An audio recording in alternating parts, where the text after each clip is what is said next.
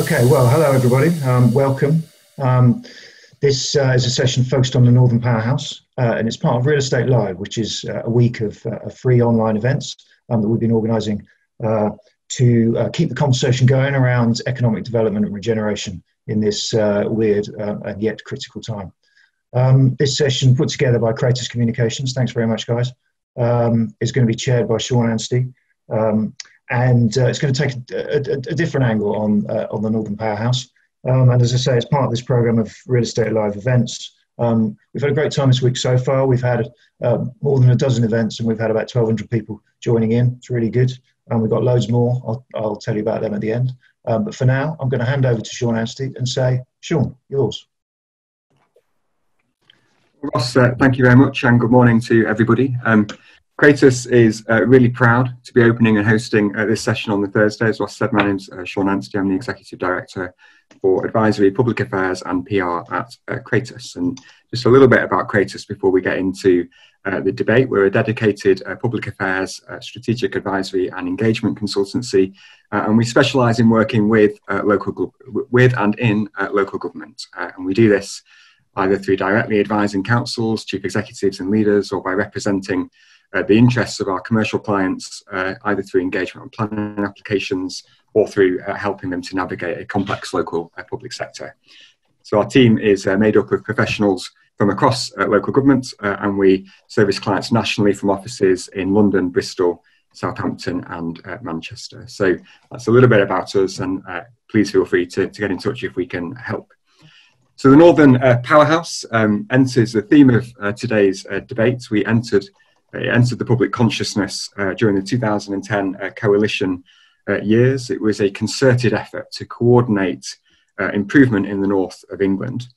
Uh, and often forgotten, it was a concept and an idea that was born in the north of England, but was significantly accelerated massively when it had the buy in of the then Chancellor George Osborne, working predominantly with Labour uh, city leaders across uh, the north of England. And a very simple concept, really, which is that if you invest in transport, uh, skills, and housing uh, alongside the devolution of power, then you can ha- have a very significant impact on making some serious inroads into improving um, economic productivity of the north and reducing uh, the uh, economic gap between the north and the south. So, generally speaking, uh, this uh, concept has been focused around our cities, so Liverpool, Manchester, Sheffield, Leeds, uh, and Newcastle. But what we wanted to do today was not just talk about our cities, but extend that a little bit into well, what about the whole of the north? If you're in Barrow, Penrith, Middlesbrough, Blackpool, uh, other places, how do we make sure that all of our towns and villages uh, are able to benefit and thrive in this concerted effort uh, to uh, improve uh, the north of England. So, uh, to do that, we have uh, an absolutely stellar panel of people who are joining me for the uh, debate today. That's Alison McKenzie Folan, who's the stalwart chief executive of Wigan Council, formerly deputy chief executive of Wigan, with responsibility for all of their operational. services. Alison is hugely passionate about public services, determined to make a difference for residents and communities, a board member of Unify Credit Union, spokesperson for Solace on the digital agenda and sits on the board of Open Data at Manchester. So a huge welcome to Alison. Thank you for joining us. We have Dan Mitchell, who's partner at Barton uh, Willmore. Dan's uh, been at Barton, Willmore since 2008 uh, and leads the company's Manchester and Leeds offices. Huge range of experience advising on major housing schemes, employment development and retail projects on behalf of house builders, developers and the public sector. Uh, so Dan, welcome uh, to you. Uh, we have Chris uh, Blackhurst, who is uh, an extremely accomplished uh, journalist and former editor of The Independent, uh, city editor of the Evening Standard, and presenter of Headline Interview on London Live. Uh, an award winning journalist, we should say, from Cumbria. originally, Chris has written extensively on the Northern Powerhouse Project and the economy of the North. And then finally, we have Anna Heaton, a partner at Addleshaw uh, Goddard, um, again in their Leeds office, um, Addleshaw Goddard were founder members of the Northern Powerhouse Partnership. And Anna and her colleagues have produced a major report on uh, Northern Powerhouse Rail, a key component of making this thing a success, supported by the partnership, uh, and advises institutional investors, property companies, local authorities, and asset managers uh, on, all, on all of their property based direct and indirect uh, transactions. So um, a hugely talented panel. And hopefully, what we're going to try and do today as we move through the next uh, 50 minutes or so is have uh, a fun northern conversation about um, real estate, about uh, what we can do to get the whole of the north to benefit from this concept. And to start us off, um, Anna is going to uh, give some introductory remarks. So, Anna, uh, welcome and over to you. Thanks, Sean. Um, yes, I'm, I'm here to uh, partly represent Addleshaw Goddard, but also to represent the Northern Powerhouse Partnership. Um, AG were founder members of the Northern Powerhouse Partnership. It's an organisation that is chaired by George Osborne and came out of those discussions around 2010 that Sean referred to. Um, it's formed of a, a business led board um, alongside city leaders and um, Lord O'Neill and John Cridland um, from TFN, Transport for the North, also form part of that board. It's a non-political organisation and it, and it aims to support the growth of the northern economy um, through focusing on the, the, key sectors that the northern leaders have decided that are the most important. So things like advanced manufacturing, energy, health, and digital for us, supporting NPP and being part of NPP is important. It, it, aligns very much with the way that we approach our business and we, the way that we think our clients do as well. So, looking at those key sectors, um, I myself am co head of our transport sector group, and as Sean said, um, looking at road and rail as well as um, bus and um, cycle and other transport developments in the north, we think is critical to, to growing that, that connectivity. Um, digital is is also really important, and I think even even more important in today's context. Um, and thinking about how things like energy products can support that as well, um, and to support the, the basically the the, it, the innovative um, businesses we have across the north. Um, we work with NPP, as Sean said, on a number of thought leadership campaigns. The NPR report was something that was really important to us last year, and that really showed that the um, thousands of businesses that we surveyed for that report all supported um, well, largely supported, I think it was about 80% supported the adoption of NPR as a way to grow their economies and the way to connect them up with new employees in different parts of the North that currently don't have access to jobs and skills. Um, the latest report that NPP has put together is called Power Up the North, and that was published last month after a, a YouGov poll, and that looks at how the North can respond to the current crisis and look to that next phase. So things like green energy jobs, training for those um, who have maybe suffered in the current crisis and will continue to be left behind. Um, new broadband and full fibre connectivity, and also transport transport infrastructure. And I think it, it is really important that we look at how we build back better. That's obviously a phrase that is is becoming more prevalent in the northwest at the moment, and I think the whole of the north is willing to get behind that as a concept. How do we make sure that we um, make sure that the elements of the elements of the north that have been left behind are not left behind further, and that we make the best of what we can in in a levelling up um, environment to make sure that all of the people of the north have access to to what they need um, to make as strong as economic future for themselves as they can. Fantastic, Anna. Thank you. Uh, thank you very much for that. And some, know, we're already starting to think about transport, digital connectivity, and how do we make sure that people benefit from everything that's happening. So, uh, to move on to that, I'm going to ask Alison to come in with some remarks now around um, you know, leading your uh, borough. Wigan is in between Liverpool and Manchester, huge borough actually in Greater Manchester. Um, and uh, it would be interesting now to get your thoughts on uh, on on this topic, and then we can carry on with the debate. Alison, over to you. Uh, thank you, Sean. Um, yeah, just coming on a few particular points. Um, of, uh, as a council, we've got uh, massive plans under our economic strategy. Uh, the We Are Wigan strategy is really about placing ourselves at the centre of the Northwest because of our good connectivity, our amazing green space, and what we can offer young families and really what we could do as a borough. So I think with COVID, it's uh, given us a time to reflect. I think we were all quite worried really in terms of uh, when lockdown first started because we are about to start um, a massive major town regeneration project. We've got um, significant retail space, particularly in Wigan Town Centre. And um, you know, I think some of us were thinking just as we were about to start some of our really ambitious plans for the next ten years, they could come crumbling down. Um, you know, sort of at the side of us. But I think what it's shown us that it's accelerated some of our thinking and intensified some of the trends in uh, the sort of decline of the retail sector, and you know, put the spotlight on uh, what we need to do um, around that sector and think about what we need to do when the crisis is over and, and the high street.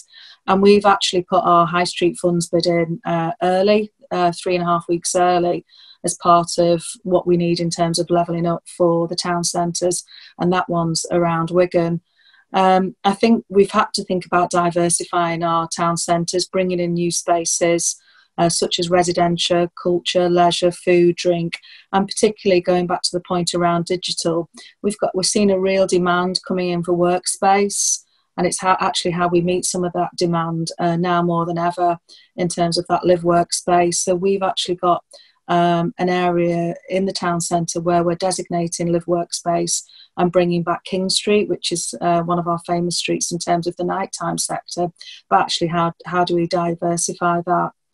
I think the other important sector really has been around um, high quality public amenity space. And for those people living in towns and city centres, I think that quality of public space is really important in our plans.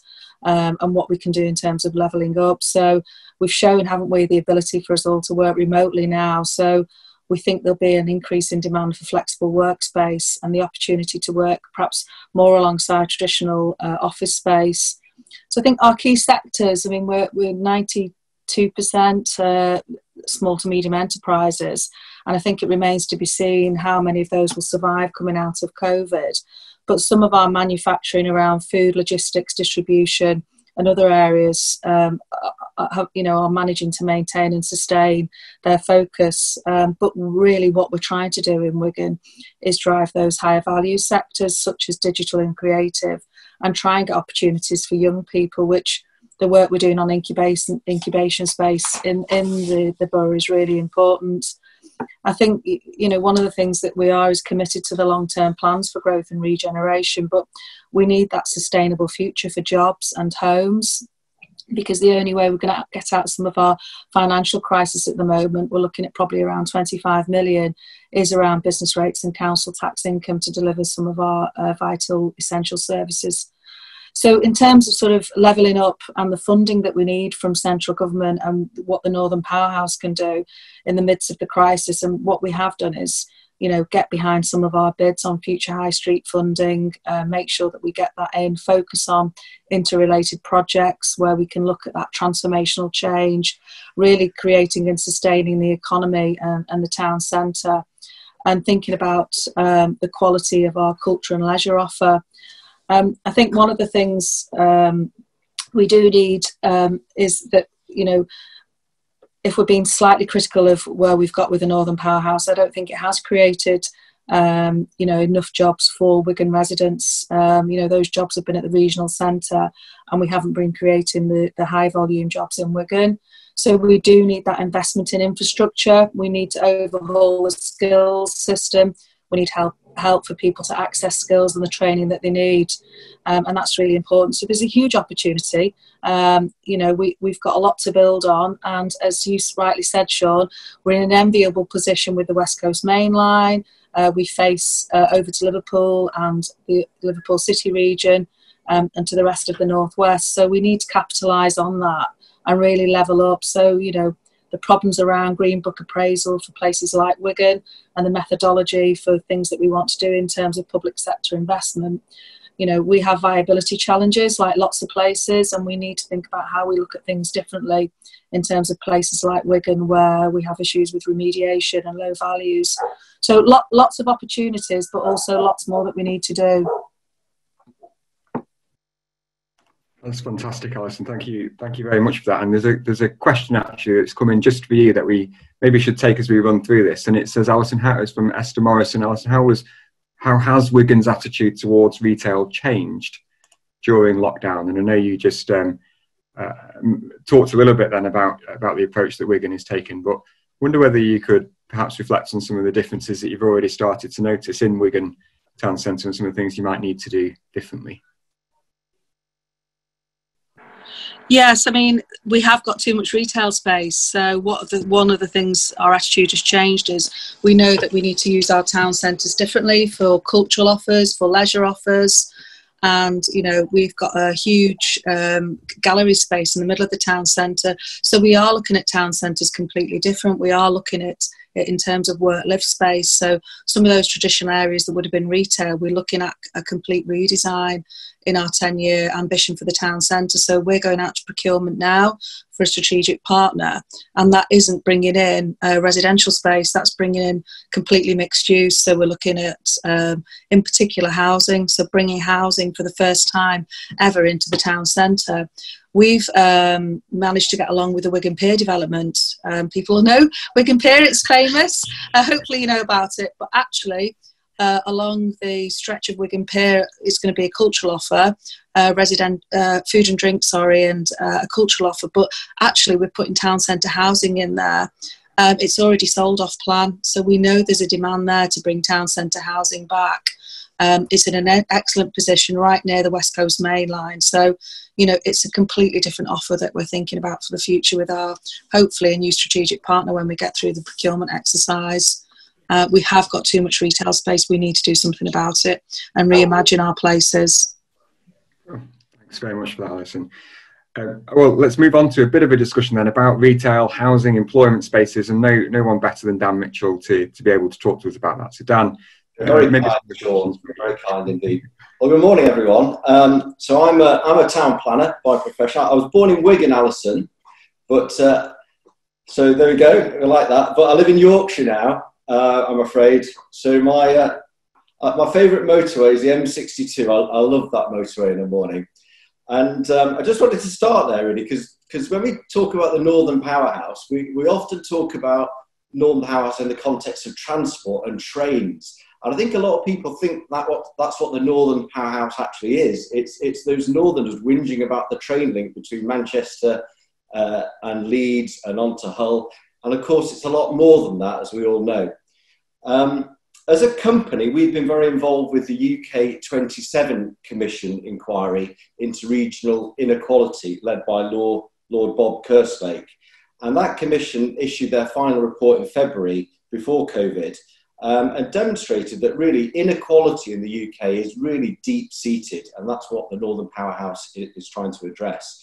So I just wanted to touch on uh, three themes, Sean, which uh, hopefully will spark a bit of a, a debate this morning.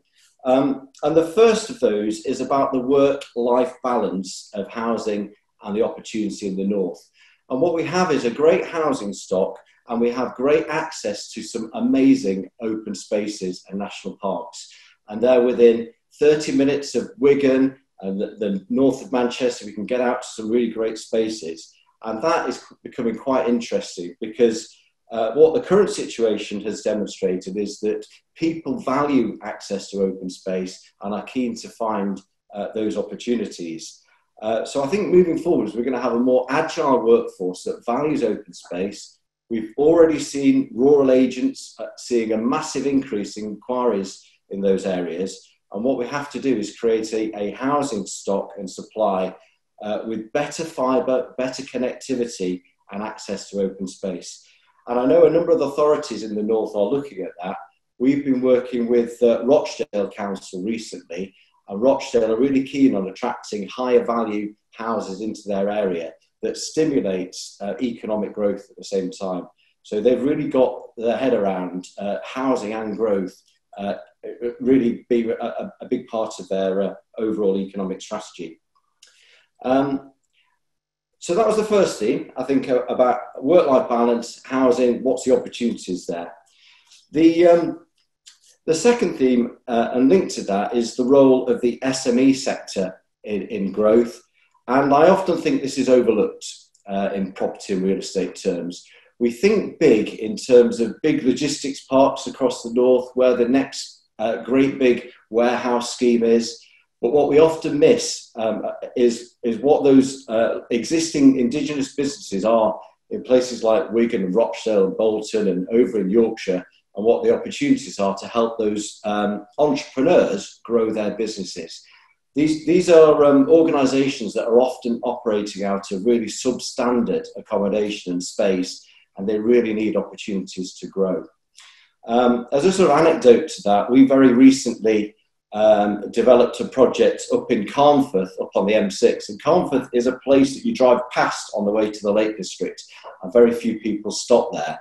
And we identified a site, um, and we actually found a, an operator in, in a, a Porsche garage um, that took the first space. And what we were finding is that even though that, that scheme wasn't uh, directly supported by planning officers in the first instance, we were absolutely inundated by local businesses writing in in support of the scheme. And once we got a consent, we could have filled that site seven times over with local businesses keen to expand. So I think, I think how we facilitate and help the SME sector to grow, I think is really important. Uh, my, my, third point, uh, I'll try and keep this quite short, is about uh, economic growth strategies and how they manifest themselves into spatial land use plans. Now, that sounds a bit geeky and planning-ish for this time in the morning when probably half the people watching this are also doing the Joe Wicks workout um, in parallel.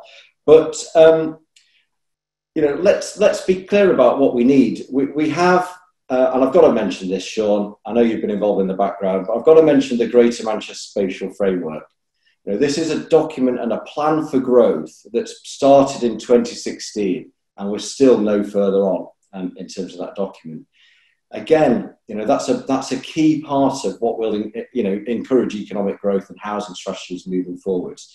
But it's not just Manchester; it's the same in, in the Liverpool City region and the same in the West Yorkshire region. And we really need these big spatial plans to really come together. Um, and I think that's an important place to stop from my perspective. But you know what we need is local plans to advance land that creates the opportunities for new homes and jobs moving forwards. And that's fantastic. Thank you very much. Um, I'm, I'm, scribbling down notes sort of quickly to sort of come back to all the points that are being raised. But before we do that, let's, uh, Chris, maybe we can get your reflections on what you've heard so far and uh, uh, welcome to you too. Thanks, thanks. Um, hello, everyone. Um, yeah, I, I come at this um, from a slightly different angle from all the people on this uh, on this webinar, in that um, my career has been in national media in London. Um, I grew up in Barrow. Um, I love the North passionately. Um, I've been accused on Guido Fawkes of banging on about the North um, too much, but I wanted to make a few points. I, I think the Northern Powerhouse um, is at a crossroads. Um, it's uh, we, we've come up against the worst health and economic crisis um, that we've ever experienced, and that's put huge, huge pressure on government finances and borrowing. Um, the uh, the um, um, Treasury is heading for uh, borrowings of 300 billion. Um, that means that every pound is being queried, the Treasury is poring over everything. So there's pressure like there's never been before. Um, the second thing is um, in the national media and indeed in national politics uh, and in London, um, there's a tendency for the Northern Powerhouse to be defined purely in terms of, of trains and tarmac. Um, and what that means is, while that's a good thing in the sense that there's, there's obviously a complete lack of investment that has been over the years, um, I mean, in, on my journey to Barrow um, to see my family, I can almost see, feel the decline in transport. I get a, a, fast commuter train into London um, from where I live in southwest London. I get the tube, I get the West Coast line, and then I get off at Lancaster, and then I'm on some frankly out of date, second hand, rattling, uh, rolling stock across the across Morecambe Bay, and you feel that decline. And um, so, while it's a good thing that transport is being invested in, um, the danger for Northern Powerhouse, and I think this is really significant danger, is that um, that's all it's seen as. And what that means is that in the South, um, in London, in national politics, national media, there's an element of tokenism, which is um, you know, we'll chuck money at transport projects up north, everything will be fine. Uh, that's the northern powerhouse. almost job done. Um, and that tokenism has haunted the northern economy um, all the way through, ever since um, the decline in, in manufacturing industry. Um, I mean, Dan just now mentioned um, uh, sort of joining up spaces. Um, I've seen it time and time again across the north where um, a big project is put forward, money's chucked in, put into it. That's great. And then everybody moves on. It's almost like the caravan moves on. Nobody's joining up the dots. And by the dots, I don't just mean tarmac and, tra- and, and trains. Um, I, I, mean skills. Um, you know, having trains and buses and all that, well, that's great. But people need to have jobs. Um, they need jobs, they need skills, they need um, uh, good housing stock. I mean, the North has very poor, very poor housing stock. Post uh, pre-industrial, well, in, industrial housing stock, it's very poor. Um, and again, these have to be long-term jobs. They have to be proper jobs, sustainable jobs, not just somebody coming in chucking a load of money at a, an empty at a factory or, or, a site because the government gave them a grant. Um, they're foreign owned, and when times are hard, they'll they'll go off again. I mean, I remember. I'll stop in a minute, but I remember, for instance, in Barrow when I was a kid, um, uh, somebody came and opened a big factory there, and we all stood there and um, applauded, and, and it's fantastic. And I was a small boy, and it was very exciting. Um, I think within 15, 20 years, the factory was empty, those people had gone, it was abandoned, and I think it's now a garage. And that, that has gone on right across the north. Um, it has to stop. The north has to stop becoming a, an industrial heritage site. Um, and I think the other key thing I'd say is that, and the final stop now, um, I'm often asked to speak in the north and go back to schools and colleges and it's quite interesting. Uh, I'm always asked to speak. The head will always ask me to speak on the same subject, and and they always say, "Please, can you make people here believe in themselves and give them aspiration?" And that is so critical to the north. I spent most of my working life, all my working life, in the south. People, because of their connection to London, do. I mean, there are obviously poor pockets around London. I get that but people in London generally, and this, you know, I don't want to be too flippant, sound flippant, but they have aspiration, they have a connection, and that connection has to be put into the north. People in Wigan, Bolton, Bury, Bradford, Barrow, Blackpool, wherever it is, they have to believe in themselves. And the key thing there is they have to stop the talent. The, the, the, um, talent has to stop draining away. Um, and that's hugely important. I mean, if I think of my own school, the grammar school in Barrow, I'd say a third, if not almost half, half those boys who left never went back. Um, and that has to change. And I'll stop there. oh, Chris, um, Chris, thank you very much for that. And I mean, what a fantastic range of perspectives. I don't think we should ever worry about banging on about the north, then I think that's perfectly fine to do. I fondly refer to London as Manchester South, um, which is an important uh, important part of the world. Um, but I, I, think maybe uh, Anna, if I can just come to you next because I want to just sort of pick up some of the themes, and we've started to get some questions coming through. But um, I suppose local uh, transport connectivity was a key theme there. So not just HS2, but what happens when you get off the train? How do you disperse yourself around? uh, within the within the region. So Northern Rail, the, the renationalisation of that, uh, bus bus uh, franchising in Greater Manchester and beyond. I wonder whether we can perhaps get some of your thoughts on just how easy the north is to get around, so that if there is new jobs that are created. Uh, it's not just other people that are coming to get them, but people are actually able to travel to them and, and access them locally. Um, any thoughts on that, Anna? Yeah, absolutely. So I, I, think there are various issues there, and there are lots of really good things happening. I think just following on from what Chris was saying, it's important that we don't just turn this into a narrative of what's happened during my lifetime. So the last 42 years, it needs to be something that we we see the the positive things that are happening and the positive steps that various people across the north are taking to take new steps that haven't been um, downloaded to them by central government, but are things that they're thinking of in their communities in their towns to make things better. So, on, on transport and local transport, there are lots of really interesting things happening. You've got um, Liverpool looking at its um, hydrogen powered buses. Um, you've got Leeds looking at finally again another mass transit system that will hopefully work really well this time. Um, you've got people looking at how the North, really importantly, through the strategy that Transport for the North have created, can take control of that. So let's look properly at, at devolu- devolution of those transport powers and hopefully allied to some revenue powers can be kept in the north and organised through the north so that people who understand that local leaders and local combined authority leaders who understand which areas need those transport links um, can decide where that money's spent. Um, and I think devolution is probably the most important thing in making sure that that local transport comes forward in the right way.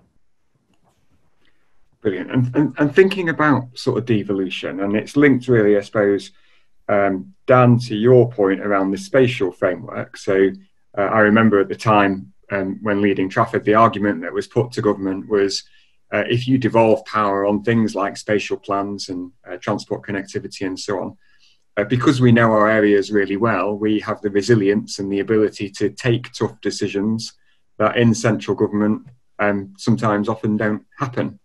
Um, and yet here we have an example of the spatial framework in Greater Manchester that still hasn't uh, been adopted uh, all these years on. So I wonder whether we might want to think about how resilient and prepared the North is to be able to take these decisions and maybe get some thoughts from you, Dan, on that. And then Alison, uh, maybe from a, from a Greater Manchester context, obviously there's been significant change uh, in Greater Manchester over the last uh, few years, you know, how things are working today and get your, your thoughts would be interesting. And then I just wanted to ask Chris before I move on to the questions from the people that we've got watching. There was a study, um, I think from KPMG, that said uh, the Northwest is going to be amongst the hardest, economically hardest hit um, uh, in COVID and responding from COVID. But, uh, but at the same time, there was a study from Deloitte that said people in the North are the most optimistic about recovery. Uh, because uh, I think that's what we do. We just get up and carry on with things and keep going. And um, so the juxtaposition between those two things, maybe some reflections from everybody on that. So, Dan, our ability to take decisions, what's needed from public and private sector to be able to support that.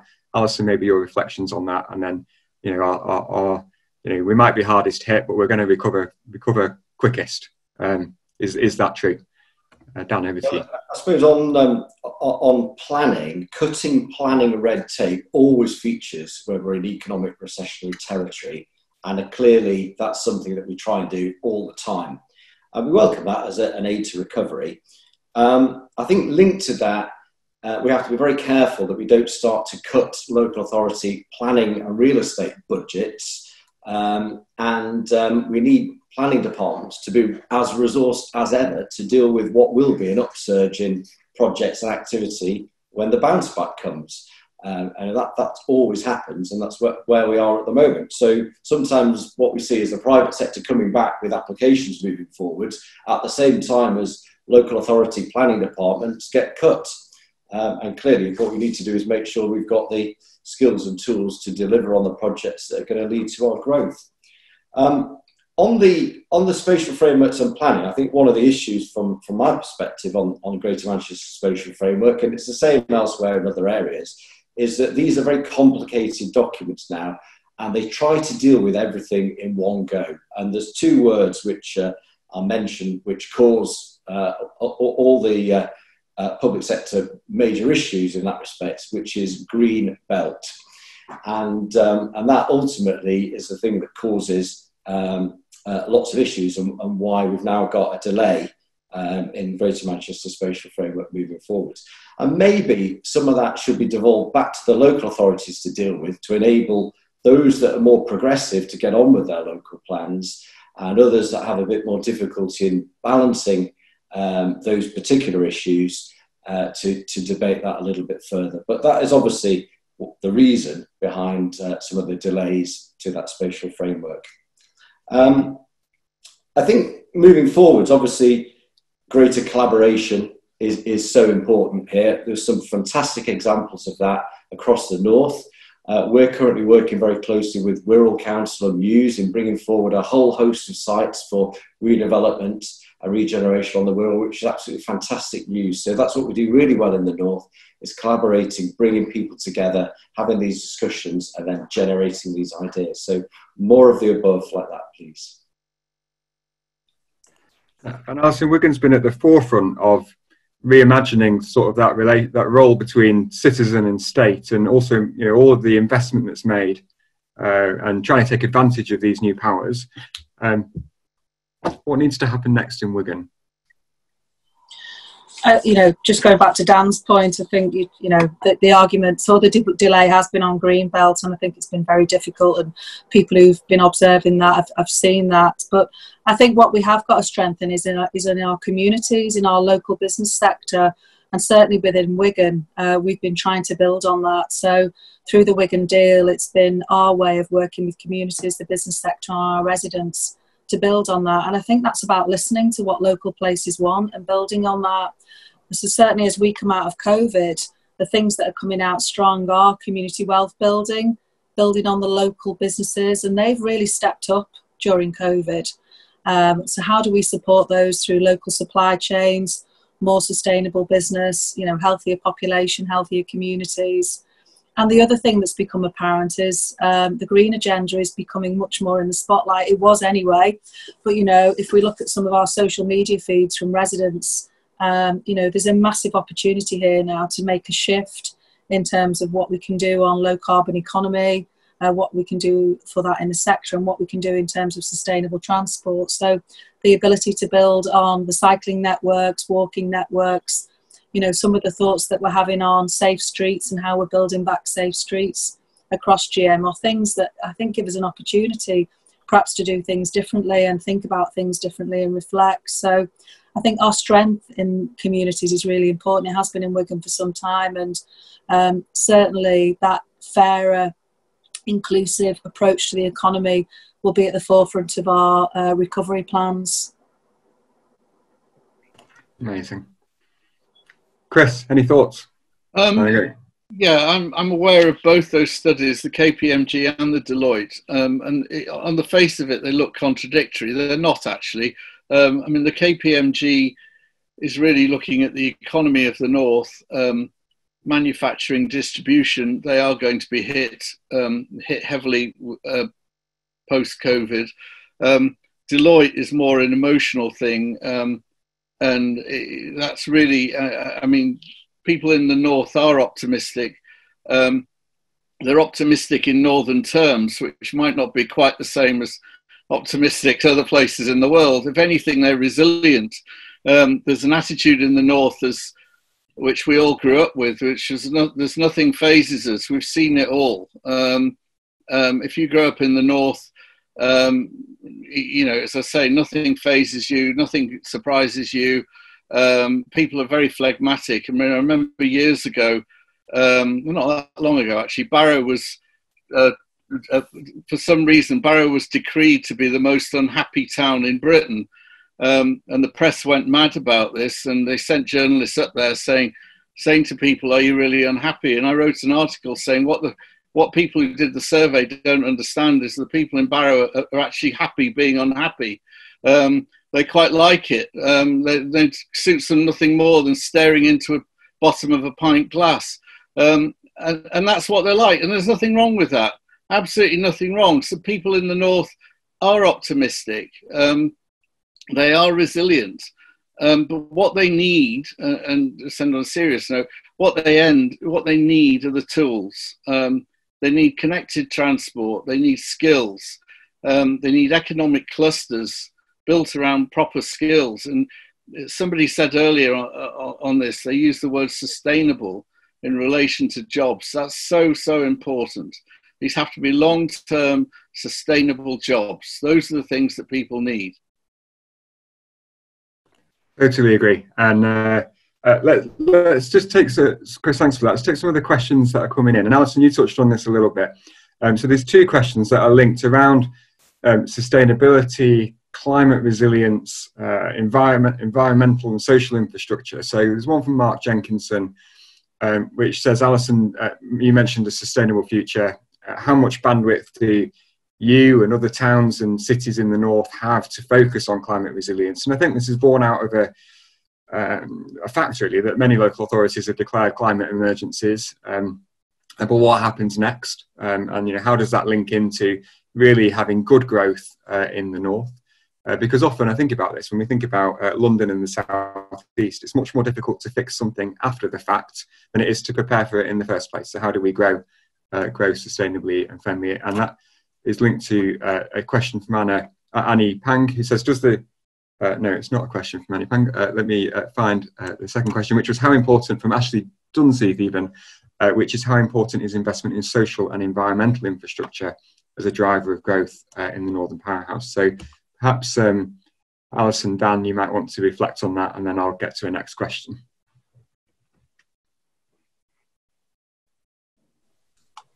Sorry, Sean. I just wanted whether I was going to get going to let Dan come in first, but happy to go first. So, yeah, certainly in our new priorities, um, sustainable economic recovery for the benefits of everyone is what we're looking at. So within that community wealth building approach is something that we want to do and we're going to focus on ironically we introduced that just before lockdown but now it's become more more and more important and actually it is the local businesses that have stepped up it isn't just big businesses so when we look at some of the connection to our community hubs and the people who responded on humanitarian aid um, you know, actually charity giving, helping out in terms of volunteering. It was actually local businesses it wasn't some of the significant um, bigger you know food sector manufacturing and other um, big businesses that we've got in Wigan so you know it's ha- you know it's looking at all of those sectors um, I think also one of the things that it has given us an opportunity is to look at the low carbon economy.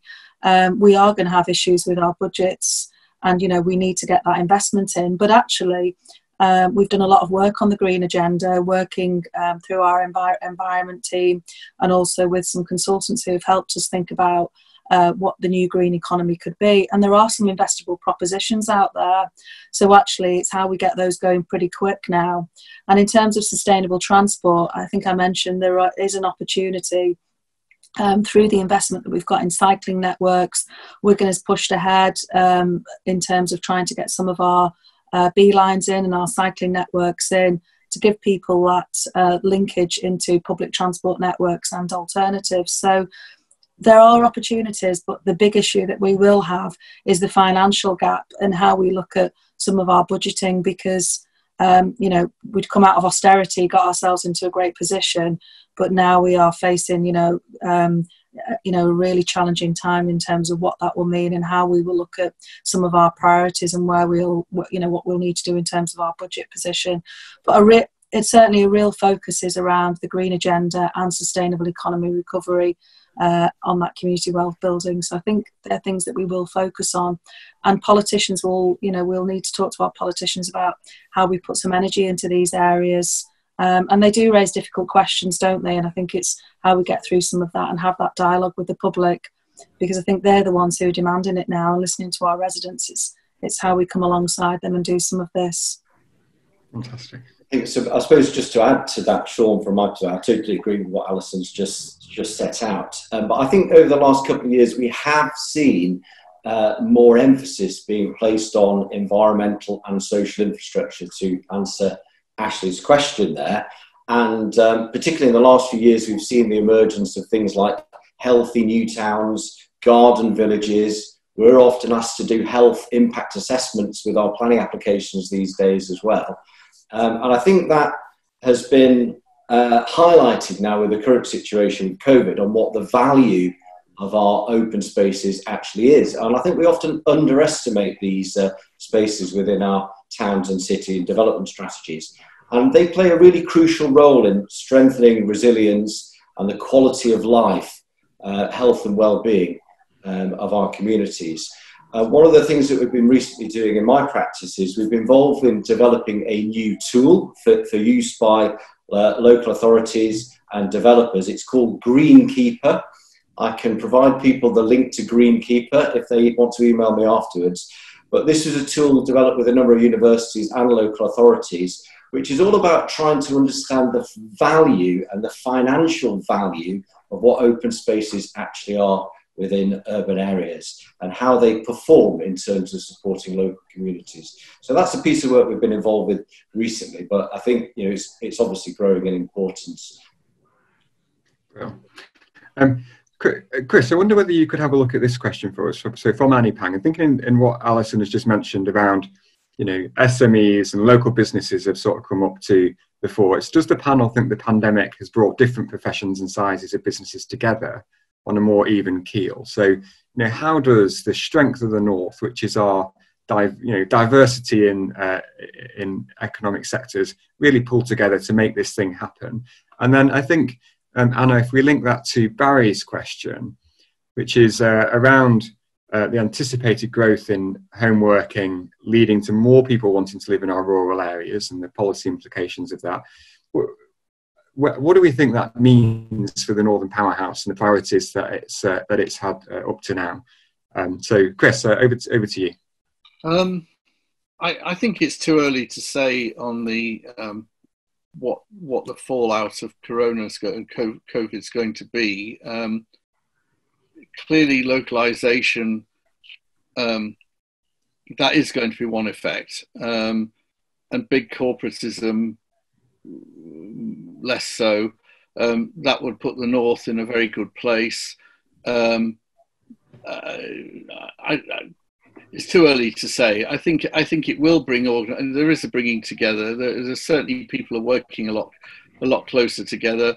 Um, uh, but I think uh, you know, let's see what happens. Um, but the north it should be in a good place. Um, but the key thing for me is this. It, it, it, it's actually pulling the whole thing together. It's not just, as I say, it's not just tarmac and trains. Um, people need digital and they need skills. And if you can get all that together um, with good housing stock, um, the north is a great place to be, and it's very well placed. If it just realizes this, and if people in the south can stop thinking, well, you know, if you chuck a few billion quid at a rail project, so you can get from Liverpool to Leeds a lot quicker, it's a lot. It's a lot more than that. Anna, your thoughts on policy priorities for the Northern Powerhouse, how, how are they going to change? I think the two biggest things that the Northern Powerhouse need to focus on now are digital and um, skills. I think what Chris said is absolutely right. Um, we have to get the full fibre in. We have to make sure that 5G comes on quickly and in the right way um, so that we don't leave people behind again. So we don't uh, basically make those gaps between city and town and between north and south worse. Um, and we have to make sure that from a social mobility point of view and a skills and training point of view, that if people are living increasingly in rural areas, how do we make sure that the young people and the children have the right education and vocational training to make them ready for the opportunities that the investment in things like infrastructure will bring? So, something like a, a rail project that should um, sustain a massive growth in engineering opportunities um, and opportunities in the traditional sectors that the North was always so good at.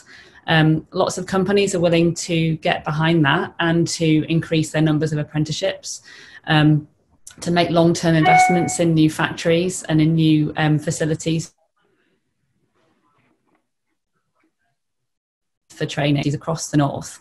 If we get certainty of what will come and what investment will be available, then the private sector will build around that, and the third sector and universities will build around that. So I think that the two strands of digital and um, training are where we all need to focus uh, in terms of the results of what we're doing. Great. Uh, Dan, can I ask you David uh, Atkinson's question around incredible levels of development in city centres over the last uh, 10 years, uh, but it's at the expense of quality uh, in some respects. Um, and if you link that to Chris's opening remarks uh, in relation to um, you know the, the existing quality in the north, how do we make sure that when we say we're going to build back better, that we actually mean it and we take the decisions uh, that are necessary to do that? How does the north stand now in you know, uh, to be able to do some of these things in in future. So uh, that, that that that that that blurring of lines between how people live and work and the spaces they're going to want.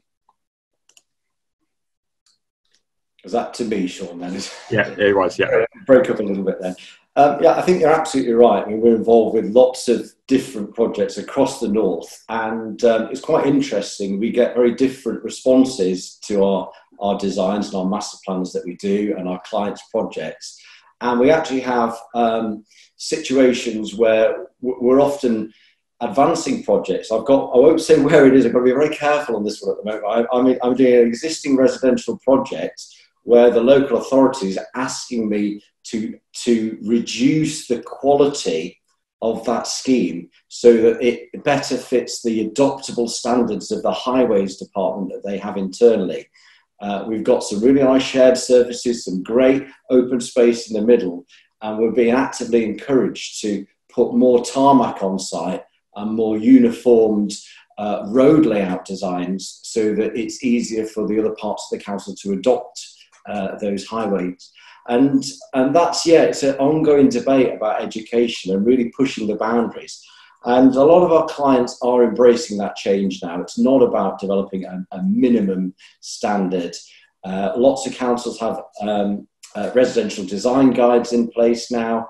Uh, there's a lot of information out there. There's now a national framework for uh, design through the planning process, which is really important. And uh, you know, we, we find that clients are embracing that, but we also need uh, you know, the skills uh, on the public sector side to help help us create these better places. It is an ongoing um, debate that we're having to sort of weave our way through very, very carefully. Well, I wonder, I wonder whether I can ask everybody. Um, a lot of the things we're talking about, you know, are long-term interventions. You'll see the you'll see the the benefits of them for young people uh, in maybe five, ten, or fifteen years' time. Um, but obviously, we live in society that wants results today, wants to see the Northern Power, Powerhouse happening today. Um, how do you square that off, and how do you how do you get it to work? Chris, do you have any thoughts on that? Um, perhaps. Um, What's well, the role I of the media? um, I think within that context, the transport, um, the transport is hugely important, um, um, and if progress can really be made, um, not just on trains but also on roads um, and bus services, those are tangible things that people can see, and they're very important. Um, the thing about a transport project is um, in, in, terms of selling it to the public, to the media, to politicians, um, it's tangible. It has a be- it has a beginning, it has an end, and it has a benefit, and people can see that. So the sooner those projects can get started and underway, that will be transformative in terms of the mood, and then the rest of it should follow in. And my my worry, which I said at the beginning, is the northern powerhouse cannot only cannot just be defined by transport. And there is a tendency, certainly in the, in, in the national media and at Westminster, for that to be the case. But as long as the case is made and the pleas are made and the arguments are made for digital skills and training and improve housing stock and the living and, and living and working environments, then that should happen. It should be fine. And Anna, is that shared at the Northern Powerhouse Partnership level? The, the, the deep rooted commitment to making this succeed? Um, no, sorry, go on. I, I think so, yeah, absolutely. So it's all about seeing a program of change, I think, and seeing the the benefits at each stage, and then lots of people talking about things in the same way with with single messages that make it very clear to people what the benefits are. And and sorry to harp back to Devo, but I, I do think that where we've seen very strong local leadership, um, that those messages have got through to people. Um, thinking about what um, the Tees Valley Mayor has been able to do, and the, pro- the, project with the, the new carbon capture scheme that will hopefully come along for the old SSI site in Teesside, where I'm from. That's a that's a that will be absolutely massive for that area, and the messaging there is very clear. It's very direct. There's a there's a real connection between the people of that area and their mayor. And I think by using that local power base and by giving people the power to actually change things in their own areas and to communicate with their people in the right way, you can show them the progression. But if you don't know that you're getting the investment, if you don't know that things are going to happen, if you've continually got political debate um, and um, it being used as a political football, then people continually get disappointed. And I think that's why you don't get the buy in. Well, thank you very much for that. So, we are into our final few minutes on this uh, webinar, and I wanted to ask each of our uh, panelists uh, a final question, which is what makes you optimistic about the future of the Northern Powerhouse, whether that's for young people or what we're going to do? What makes us happy when you've had a group of proud Northerners for the last 55 minutes chat away about the North? What, what's, what's, what's exciting about the future? So, Dan, maybe we can um, start for you. Okay, well, I'll, I'll, I'll start with that. I think one thing that was really positive in the North and real estate is the strength and the talent that's coming out of our universities. Often surprised by how they come up with such, such amazing ideas that challenge the work that we're doing and what, how we're working at the moment. So I think there's a really good talent pool that we've got across our universities into real estate, and that, that makes me happy. Well, Anna, um, build on some of the points you've had. Makes you smile. I think it's I think there are a lot of people that are very invested in making this work. Um, I think we do look for inspiration to uh, our younger people. I think the universities, the retention rate from universities is, is really good in some areas now. We don't have the same brain drain that that we used to have. And I also think that the, the way that the private sector and the public sector collaborate in the north is becoming stronger and stronger as the the local leaders um, work together in a much more unified way. Um, there are lots of um, companies, and I guess I would say that being from the private sector, but I think there are lots of companies that are willing to stand um, shoulder to shoulder with the public sector for the long term um, and deliver uh, in, not just for profit but in part for what they want to do for for their areas. And i do think that's genuine and that that does definitely make me smile. Chris your turn. Um, i think you're always smiling. I like it. I think the thing that makes me smile is the fact that there are discussions like this. Um, uh, there are discussions at national level. There's Northern Powerhouse Partnership. Um, these never happened before. Um, people are much more joined up, um, and there's a realization that change has to happen, and that's new. I mean, you know, we're talking about the Northern Powerhouse Partnership as though it's relatively old. Um, it, it's less than 10 years old. Um, this is a whole, this is a new thing. If you then put that together with a general election where the North voted, um, and the realization at the national level in politics that the North matters, um, that gives me huge optimism that the, the, the, people people are people at last are beginning to get it, um, and it's taken an awful long time and an awful lot of decline to get there, but they are at last getting it, and that has to that has to be a cause for optimism. Excellent. Alison, um, thanks for that, Chris. Um, and over to you. Uh, if I can have two, the first one would be I think in the midst of the COVID crisis, we've still managed to really build on some strategic partnerships. So, just one, for example, Edge Hill University, which is on the uh, just the edge of our borough, um, between the university, our local college, the hospital, the hospital trust, and ourselves as the council, we've signed a strategic partnership to look at how we can think about our young people for the future in terms of both the health and social care sector, uh, the medical sector, and the digital sector. And that's about giving real people in Wigan, the young people of Wigan, opportunities linked to the hospital, uh, linked to the university, and linked to the college. And, you know, the level of positivity in the conversations between all of the organisations in that is really ambitious and really a, a willingness to want to see a brighter future, uh, both for young people, but also for people who might want to, to, to reskill and relearn. So I think that's one. And then the second thing I think goes back to what I said earlier, which is around uh, the spirit of the North and communities.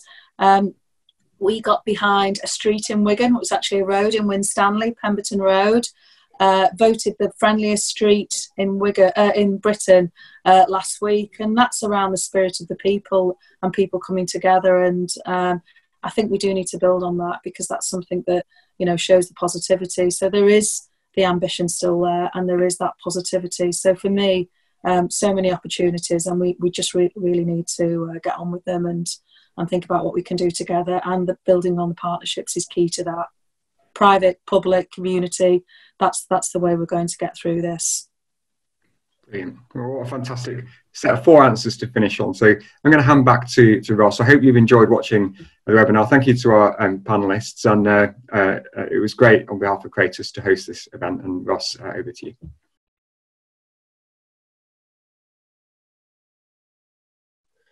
Thanks, Sean. Uh, thanks very much. That was uh, really good, really interesting. Um, in common with a lot of the other sessions that we've had this week, um, so many great stories, um, some consensus, some discussion um, but really fabulous. Thanks very much to Cratus for putting that together. Um, and thank you also to all the speakers. Um, loved you all. Thanks very much. Thanks to Chris, particularly for smiling so much. It's a joy to watch. So uh, we've got a we, have got a poll right now for you. This is a poll that we're conducting uh, across all of the events this week. you can see it there. What will be the most important factor in kickstarting development, recovering the strength of UK real estate post COVID? you just uh, pop, pop your answers in. Um, and then we'll uh, we'll put them all together across all of the po- uh, all of the um, sessions this week um, for uh, an interesting piece of information at the end of it. Um, thanks, uh, like I said, to all the speakers. Thanks to Cratus for putting it together.